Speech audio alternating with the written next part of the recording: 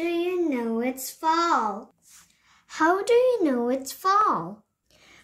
When the green leaves of summer turn red or yellow or brown and they fall off the trees. When you look up and see flocks of geese or other birds flying to a warmer place. When you're back in school, telling your friends what you did last summer. When some days are so chilly that you need a jacket, then you know it's fall. Farmers work hard in the fall. They reap their corn, harvest their potatoes, and pick ripe fruit off trees. Squirrels know that winter is not far off.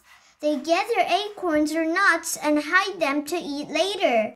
Halloween comes in the fall and pumpkin with funny faces smile at you.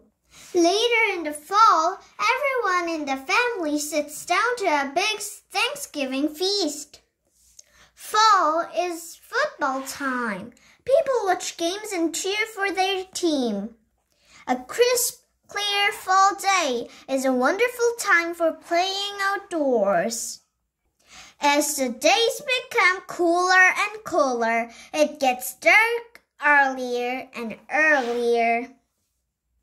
Why is the season called fall? Because it's the time of year when leaves fall. Another name for fall is autumn.